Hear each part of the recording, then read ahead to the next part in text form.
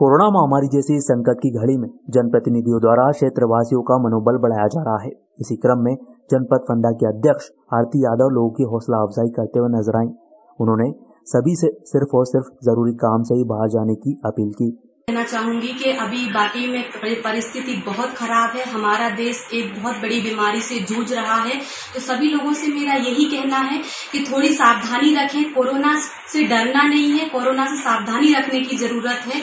आ, बाहर जैसे यदि आप बहुत ज़रूरी काम है तो ही बाहर निकले। घर में आने के बाद आप हाथों को अच्छे से साबुन से या हैंड वॉश से धोएँ सैनिटाइजर का इस्तेमाल करें। सोशल डिस्टेंसिंग का पालन करें। तो ज़रूरी है कि आप अपने, अपनी सुरक्षा करें, अपने परिवार की सुरक्षा करें और अपने देश की सुरक्षा करें और एक दिन ज़रूर ऐसा आएगा जब हम इस महामारी से जीतेंगे।